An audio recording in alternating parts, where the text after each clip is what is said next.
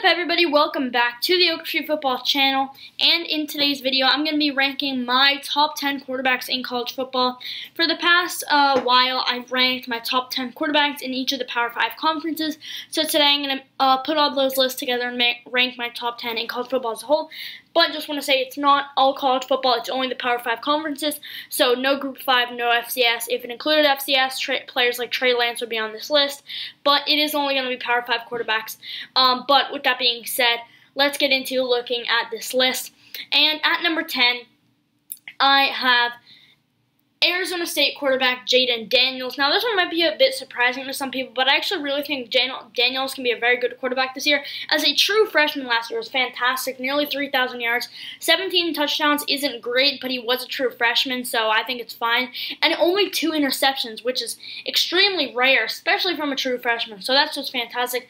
60.7 completion percentage is definitely pretty good, and then he's a good rusher as well. 355 rushers, less than three touchdowns. I expect him to get better at that this season. Uh, so I, I, really expect him to get better at everything this season going into his second year. Uh, but he already had not very many flaws. I mean, he's a good rusher. He, he's a good passer. He makes really good decisions. Jayden Daniels was really, really good last year, and he's a player I'm really excited to watch this season. Definitely one of the better quarterbacks in the Pac-12. And I actually think Arizona State can be a pretty good team this season, and Daniels, I think, is going to be a very, very big player for them. I, I expect a lot from him, um, but I, I, really do think he will be able to uh, get that done this season. Moving on to number nine. At number nine, I have Tanner Morgan from Min, uh, Minnesota. Uh, Tanner Morgan is a very, very good quarterback in my opinion. I mean, he was very, very good last year. He hadn't really been good uh, before that, but then last year he just really exploded onto the scene and was fantastic. 3,253 pass yards is really good. 30 touchdowns is great, and 7 interceptions it's it's good. It's very good numbers. And then 66% completion percentage. Um, the only reason I'm lower on this list is he is losing some of his favorite receiving targets, but he definitely still has some really, really good ones. So I, I think he should have a really good year. Uh, he's on a very good team as well. I, I just think they should have a really good year, uh, and Morgan should have a good year. I just think he's a fantastic player, plays for a very good team. Uh, and I have number 9 on my top 10 quarterbacks in college football list. Moving on to number 8. At number 8, I have Jamie Newman from Georgia. Now, this one might surprise some people because he's a transfer, he's going to his first season with the team, but I actually really like Newman. I think he can actually do a lot. And I know some people are saying he can't really get it done in the big moments. Uh, now he's going to be playing with a better team, with better receivers, with better coaches. He should definitely be a lot better than he was at Wake Forest, and he was pretty good at Wake Forest last year. So I think Jamie Newman can be pretty good. Uh, he, I, I definitely think he can be a very good quarterback. I didn't want to put him higher because I mean, it's possible he's a Heisman contender, but being a transfer, especially with limited practices, is definitely going to be tough. So I have him lower on this list, uh, but I definitely think he's a fantastic quarterback. Should have a good year. 26 touchdowns last year is good. 11 interceptions. Maybe that's a bit too high, but he can definitely get that lower at Georgia. And then he's a good rusher as well, over 500 yards and six touchdowns last year. So just a fantastic player uh, overall. He can really get the job done for uh, Georgia this season. I expect him to be pretty good, so I have a number 8. Moving on to number 7. At number 7, I have another SEC quarterback. I have Kyle Trask from Florida.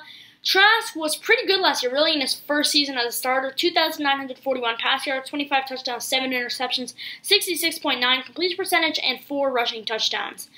Uh, and he was really forced into that job. I mean, it wasn't he, Felipe Franks was the week one starter, but uh, Felipe Franks got injured, and then Trask was forced to come in, and he was really, really good. So now that he really knows he's going to be in this job, I think he's going to be a lot better, and I think he will be the best quarterback in the SEC this season. I don't think he's going to be a Heisman contender. I don't really see that, but I see Florida as a pretty good team, um, and Kyle Trask absolutely can be a fantastic quarterback. The problem is I don't think the receiving targets are the best. I mean, Kyle Pitts is a very good tight end, but I think there, I, I definitely think there are good receiving targets on that team. I'm not saying there's nobody. There absolutely are, but I still think there need to be a few more before he can really have some fantastic numbers and fantastic season. But no matter what, I think it's going to be a very good year for Kyle Trask, and I definitely think he deserves a spot on this top 10 list. Moving on to number 6, just missing out on the top 5. At number 6, I have Kedon Slovis, the USC quarterback. Now, Slovis Um, last year was a freshman and was fantastic.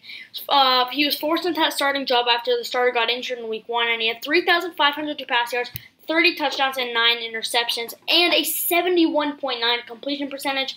That's really good for a freshman, especially one that wasn't uh, supposed to have the week one starting job. Uh, so yeah, if he put up that up that up last season, I expect him to get better this year. I think it's going to be a big year for Kedon Slovis. I mean, in my opinion, USC is a bit overrated, but I don't think Slovis is overrated. I think Slovis is one of the best quarterbacks in college football. He's putting up those fantastic numbers last year. I think he can put up some fantastic numbers again this season. He's just a very, very good player. Not very good rusher, but in the passing game, he's definitely one of the better in college football. So uh, that's why I have him at number six on this list. Moving on into the top five, and at number five, I have Iowa State quarterback Brock Purdy. Now, this one may surprise some people because some people might not think Purdy deserves a spot on this list, but I actually think he's very deserving of it. Nearly 4,000 pass yards last year, which is fantastic. Uh, almost 30 touchdown passes, which is really good, and 9 interceptions, which is solid. Uh, and then 65.7 completion percentage that's also very good. So the passing stats are all really good. You know, maybe a few more touchdowns and a, a, few less interceptions would be good, but still, 27 touchdowns and 9 interceptions, that is a very good ratio. And then uh, running, 249 yards and 8 touchdowns. So he's not a run first type of guy, but he definitely can run when he needs to. Uh, so I think Iowa State's a pretty good team this year, honestly, and Purdy is just a fantastic quarterback. Uh, I was considering putting him one one spot lower, but I think he's good enough to have the spot on the list. I just think he's a, actually a fantastic uh, quarterback. I think he was great last year. I expect another good season from him. Maybe he can hit 4,000 pass yards again. Uh, maybe not with the shorter season, but still probably 3,000 pass yards. Probably a good amount of touchdowns. Most, I think he can keep a low amount of interceptions again. So, uh, just a fantastic player last season. 35 total touchdowns, over 4,000 yards of offense. Great, great player. Uh, I definitely think he deserves a spot on my list. Moving on to number four. At number four, I have Sam Ehlinger from Texas. Uh, so Texas is a team that a lot of people really, really like this year. Eh, but I kind of feel like it's this year when people just ask, is Texas back? Is Texas back? And I don't think Texas is going to be bad this year. But, I mean, if they keep asking that every year and it normally doesn't come true, why this season? Um, but Ehlinger is going to be great. I really do think so. I mean, he wasn't playing with the best receiving group last year, wasn't really playing with the best team, and his numbers are just fantastic. 3,600, uh, 3,663 pass yards is really, really good. There's only a few players in college football who had more than that last year. 32 touchdowns is better than most players. 10 interceptions, you know, it's double digits, may, maybe a bit high, but it's not too high. Uh, 65.2 completion percentage is uh, pretty good as well. And then rushing is fantastic as well. 663 uh, rush yards and 7 touchdowns. He was fantastic last for, for a team with not the best receiving group. He is just a really, really good quarterback, and he's not getting as much, you know, people aren't really, when they think of the top quarterbacks in college football, most of the time Ehlinger is not one of the first that comes to mind, which I don't think is right. I think Ehlinger should be one of the first that comes to mind because I think he's a fantastic quarterback.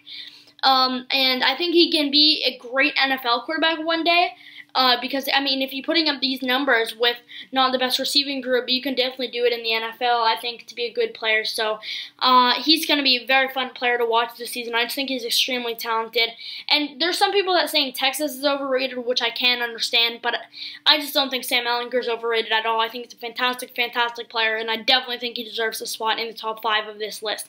Moving on now to the top three, and in third place, just missing out on the top two, I have Sam Howell from North Carolina. Uh, Howell was a freshman last year, and his numbers were unbelievable, especially for a freshman, but just for college football as a whole, unbelievable. 3,641 pass yards, 38 touchdowns, and 7 interceptions. Uh, so, just for comparison, Trevor Lawrence was considered to be uh, the best quarterback in the ACC last year, considered one of the better quarterbacks in college football. These Sam Howell's stats as a freshman were better than Trevor Lawrence's stats uh, last season. Um, and that 61.4 completion percentage, definitely could be better, but I mean, he was a freshman, so I mean, I, am not going to say there's any problems there. And then 35 rush yards, not a rusher. He did get a touchdown, but as a passer, he's just fantastic. Definitely one of the best in the nation. And he did that as a freshman. Imagine what he'll do in his second and his third season. He's going to be a special player. I really, really do think so. And he's playing with a team. He played with a team that had two wins and then he put up these numbers. And I mean, I know it wasn't completely his him that made it so they had seven wins last year and he had this many yards because he does have some good receivers. He has some good coaches, but still he played a part in it. Unbelievable season by him last year. Uh, just fantastic. And I, I really do think he's going to be one of the best quarterbacks in college football. And honestly, I wouldn't be surprised if he wins the Heisman Trophy. I know a lot of people are talking about some other players and not really talking about Sam Howell. But if he put up these numbers as a freshman, he's going to be fantastic this year and going forward. So I think Cal's a great, great player, and I have him at number three. Moving on to number two. Top two, you probably know who they are, and it's really, really hard to decide which one's one and which one's two. But I did end up uh, deciding, and at number two, I'm going to have Trevor Lawrence from Clemson, the other ACC quarterback on this list. I think Lawrence is one of the best quarterbacks in college football. The only reason I have him at number two is because he's losing some of his favorite receiving targets. That's it. I, I, I really do. Uh, that's the only reason why. I mean, last year he was just insane 3,665 pass yards, 36 touchdowns, 8 interceptions. Uh, 65.8 completion percentage is very good. And then as a rusher, he got so much better last year 563 yards and 9 touchdowns. Unbelievable player, really. And even without some of his top receivers, Clemson still has some good receiving targets, and he's still going to put up some really good numbers this season. Uh, but just, uh, he's losing I believe his two top receiving targets, maybe even more. But that's the only reason why I have him at number two. I definitely think he's deserving of that number one spot. He's just a fantastic player, in my opinion. Just a fantastic, fantastic player. Uh, and I think he should have a great year. Um, and you know, he was very close to being number one on this list. But at number one, you probably already know who it is.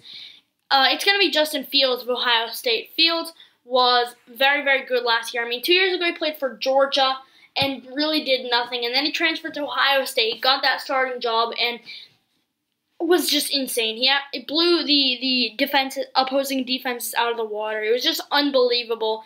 Uh, I mean, three thousand two hundred seventy three passing yards. I mean, it's not the best, but it's definitely not bad. Um, 41 touchdown passes to three interceptions, and two of those interceptions came in the playoff. One interception in the regular season and 41 touchdown passes.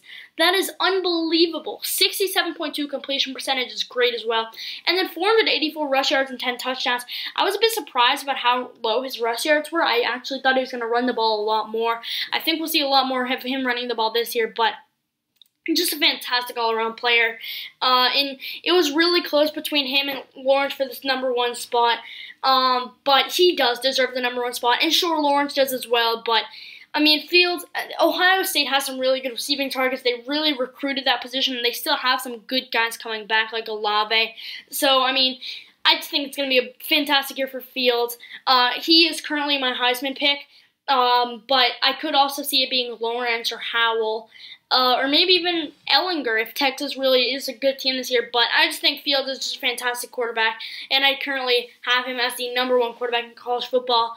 Um, so those are my top 10 quarterbacks in college football for this year. Please, in the comment section below, tell me your top 10 quarterbacks. Uh, if you enjoyed this video, don't forget to leave a like, and if you're new around here, feel free to subscribe for more NFL and college football content.